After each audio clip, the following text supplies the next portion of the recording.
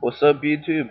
This is Computer Hacker 16 and today I'm coming to you with a new tutorial and this tutorial was actually requested by some people.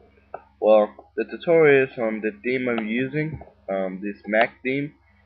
The theme is called um, 7.1 and I'm just gonna be showing you where to download it and I'll have this link in the description so this is the theme right here that I'm using.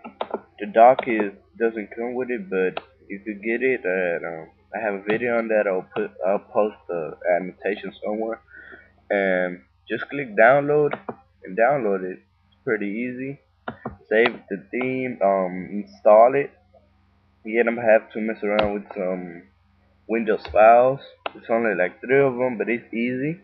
I recommend you back up everything you do so yeah. So this is the site where I got the theme. Um, the name is Alex 7.1 and yeah thanks for watching this video um and thanks for the people that, oh, for recommending me to do this video or who wanted to know what the theme was or where I got it from. Well this is the theme and well hope you like this theme and just comment or whatever just install it and I'll see you guys later. Alright bye